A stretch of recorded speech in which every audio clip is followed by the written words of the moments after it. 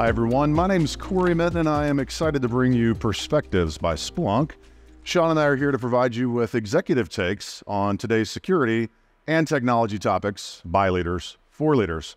And our guest today has an opinion that I think many people may share that artificial intelligence represents what is a massive technological shift in the industry, one that may be as big as the internet. Matt Swann, why do you believe that AI is going to be quite such a large revolution? Listen, I think uh, despite all the noise that you hear and see today about, you know, generational AI, you know, I think back to 20 plus years ago when, you know, the internet evolved and immediately there was this hype cycle. Mm-hmm. And the hype cycle was, we're all going to change immediately. Everything's going to be digital immediately. And if you fast forward 20 years, we've had big winners digital incumbents who built digital first and they've taken advantage and they've kind of won. Um, we also have a lot of incumbents that are still trying to figure out their their digital channel. I mean, these these cycle times have changed, they've shortened, but I think the reality of it is this is bigger and more powerful over the next 20 years. I think that what we've experienced with internet, with cloud, kind of with mobile it's quite a big fundamental shift there, isn't it? Really, from from you know tw- 20 years ago when the internet was around, kind of invented, to where we are today. So, Matt, maybe you could tell us a little bit about yourself, your history, and maybe a little bit as to how you've come to this conclusion.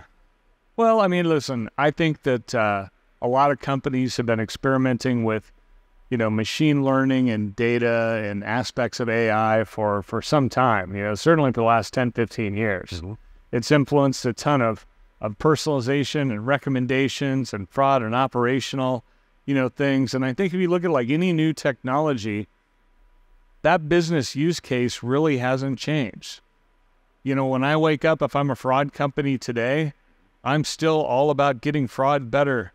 You know, if I'm an operational company today, I want my operations to be better. If I want to sell more stuff, I want to sell more stuff. So, AI, when I think about the evolution that we've been on in terms of getting deeper and deeper into customer information and segmentation to really tailor and personalize that, we can harness this technology to do all the things that we were doing before, but faster and better. Yeah, excellent. So you you've had kind of a storied history in terms of roles that you've played at uh, companies. We're certainly glad to have you here at Splunk, but maybe tell the folks a little bit about kind of your previous roles and some of the ways that you've been involved in, you know, leading through technological shifts in the past as well. Yeah, I mean, I, I feel like my entire journey has really been that of modernization. yeah. You know, I was kind of day one at Amazon when we invented the cloud, when we decentralized the monolith to become, you know, microservices. Uh, early on, when we built a lot of the first machine learning platforms and personalization to kind of tailor how people kind of bought and and and viewed things, that helped organizational change and all the ways that we thought about you know, cross-functional teams and single-threaded teams and our operating models. And the fascinating thing for me was that I thought, well, that was just an Amazon phenomenon. Mm-hmm. And the reality of it is, you know, as the CTO or CIO at, at regulated incumbents like uh, Citibank or Booking or, or newer, more digital players like neobanks, like Nubank, those same patterns have all applied themselves. Those needs all still exist. Yeah. So when we think about you know AI as a revolution, one of the most important things that we're trying to to flush out for folks and really having a lot of conversations around the world is, you know, what does it mean for technology leaders today? So, like in your mind, just at a at a top level, what is what does leading in a revolution like this really look like? Yeah, well, I think anytime there's a major shift and you recognize it and you see value in it, you need to really embrace it. You need to make it part of your culture. You know, and that means, uh, you know, embedding the right goals and incentives. It means the right education. Uh, it means the right inspection mechanism so that when you say, hey, listen, you know, there was a famous, you know, my days at Amazon, we, we produced our annual plans, you know, every year. And sometimes the questions changed. And if there was a popular topic like AI, what are you doing about AI?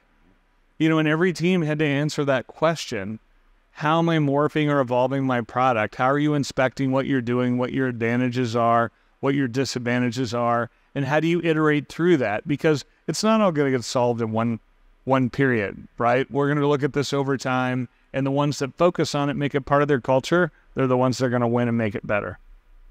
It's really interesting, isn't it? So I, I wonder, maybe you can share your opinion on what do you think this means around people, maybe talent and recruitment strategies, both now and in the future.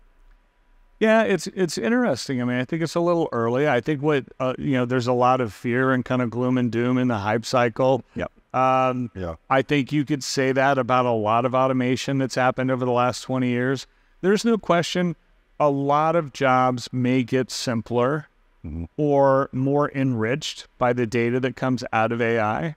I think we're going to go through a period of where we are more supervised to less supervised in terms of human involvement, you know, kind of in those things. Um, but I think there's just no substitute uh, for their well, you know, who knows on a long enough time frame. I think for it to literally displacing everything. That's right. But I think what we're going to see in the next 20 years is there are going to be a lot of jobs that are going to be created that are both higher value, working on the development of AI and those things. There are going to be a lot of jobs that become more open or available because AI makes it easier. I no longer have to find the deep specialist that does that thing because AI can assist that person to help get them to the task. Yeah, it's it's it's kind of a wild thing that this uh, you talked about the hype cycle and that people are going, oh, I'm going to lose my job. Like we should all run for the hills. And I think it's one of those that we have to be thoughtful about. What are the skills that we're going to try to develop over the future? And I think the lump of labor fallacy is kind of the best way to explain it. Like by any new technology, it's not that we're necessarily deleting as many jobs as we're creating, which I think is a kind of a fundamental, you know, change in people's mindset. That anytime you have this big change, you don't have to be scared. It's just a shift. So as we're going through that shift, if you're thinking about you know, cybersecurity leaders, technology leaders, what are some of the practical ways? You talked about culture as like a high level, but like what are some of the practical things that you're seeing some of those great technology leaders, those great cybersecurity leaders do now that's helpful? Well, I mean, listen, I think you have to plan for where you need speed and where you need augmentation, mm-hmm. you know, in your teams and systems. I think there are things where this technology can take your existing staff and team and help accelerate their time to detection, mm-hmm. their time to recovery, you know, and and by the way, it's interesting. There's a lot of this uh, AI that's being produced and trained off public data sets, mm-hmm. And that's fine, and you can learn and come and grow from that. I think the real power comes from these platforms of private data sets, and when you begin to build on that to automate how you make things operate better, how you make them recover better, mm-hmm. how you find and detect security issues better. But again, that comes back to that core mission. You have to make your mission hasn't changed. Yeah. You're a security company, right? You're an operations company, you're a fraud company. And so, how do you leverage that technology to automate and expedite that path to resilience? Mm-hmm. You know, and, and inevitably, as we all know, in e commerce, we didn't close down the physical stores. With mobile, we didn't give away all our computers. You know, with, with AI, all the jobs are probably not going to go away. It's true. It's a great way of describing it. isn't it? Yeah. so there are there are so many different opportunities maybe with AI today and, and coming in the future. For a leader, it's really hard to understand what they need to invest in next. So do you have any advice?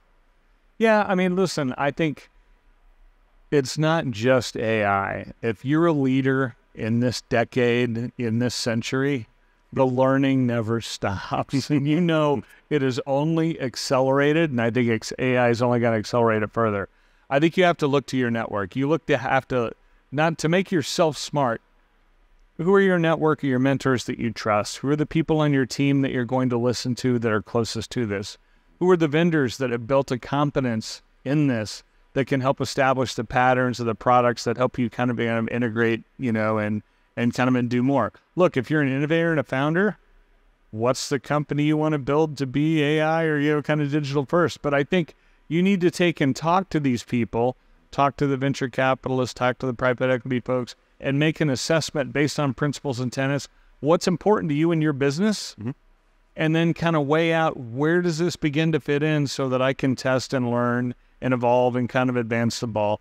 Yeah, absolutely. But it's, you know, one of the things that's been super popular, you talked about it earlier, this generative AI, right? That's the thing that really burst onto the consciousness of the, the common person right out there. While many of us have been working in AI research and, you know, big data, these things for years and years. But, uh, you know, one of the things that they're, you know, that they're thinking is it's like, it's just, it's, you're going to automate everything. AI is going to take over. But I don't feel like that's true. Like, do you believe that human in the loop is the right answer now? And like, how far in the future is that real full AI automation going to happen? Look, I, I, I can't predict.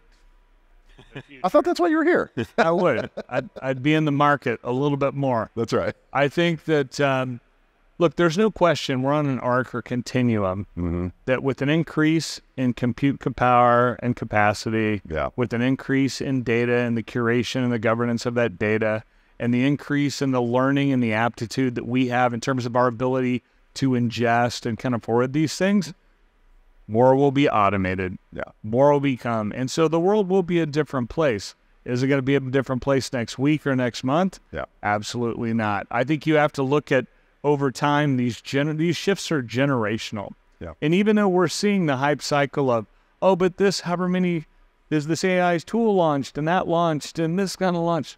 Yeah. Think about it like um, there's a famous story that uh, Bezos used to tell that the turn of the century when automobiles were made, there were hundreds and hundreds, if not thousands, of automobile makers, Mhm.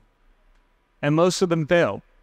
And you bridge down to the top kind of three or four, which became the real winners and succeeders kind of in this space, Mhm. right? Those were kind of day one companies.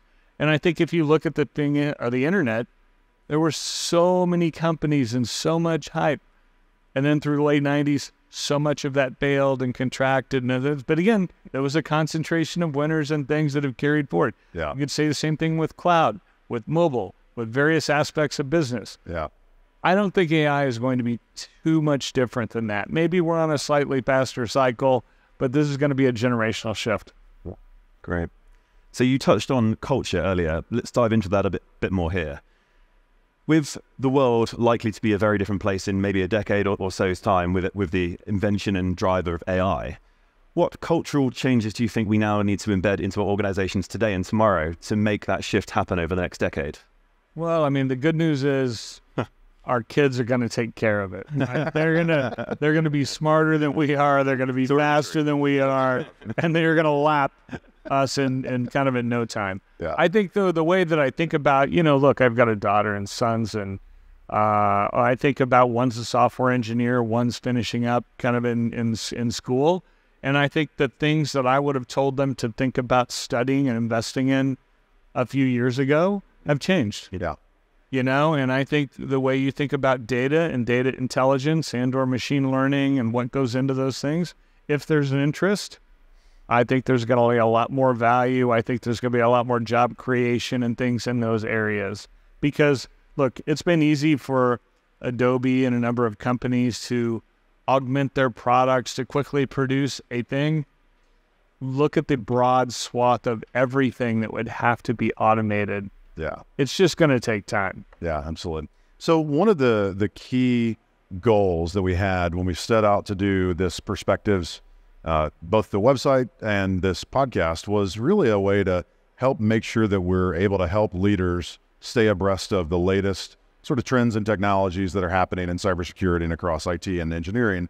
So I'm curious, as a as a leader, what's like your go-to resource? I know you mentioned earlier, right, having a great network and having mentors and folks that you trust. But is there is there any like sort of either you know uh, mailing list or like a website? Like, is there your favorite resource that you use to stay abreast of things? And if you say TikTok, it's fine. it's it, it, I'm embarrassingly not a TikTok Yeah, user. I probably should be. I would probably know more about AI if I did.